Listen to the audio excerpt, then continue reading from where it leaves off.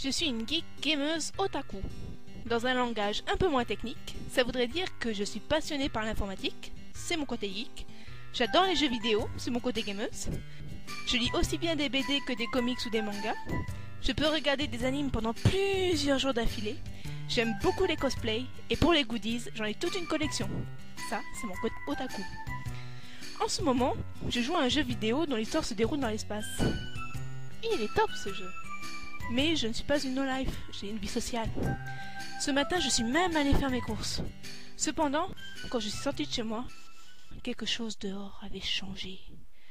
Les gens avaient pris une tête bizarre et disaient aussi des choses bizarres. Pourquoi t'as l'air si contente? Je viens d'acheter un nouveau sort de heal pour les tapettes comme toi. Ce jour-là, quand je suis rentrée chez moi, j'ai pris le jeu dans mes mains et j'ai tout mis dans un carton, me promettant de ne plus jamais y retourner.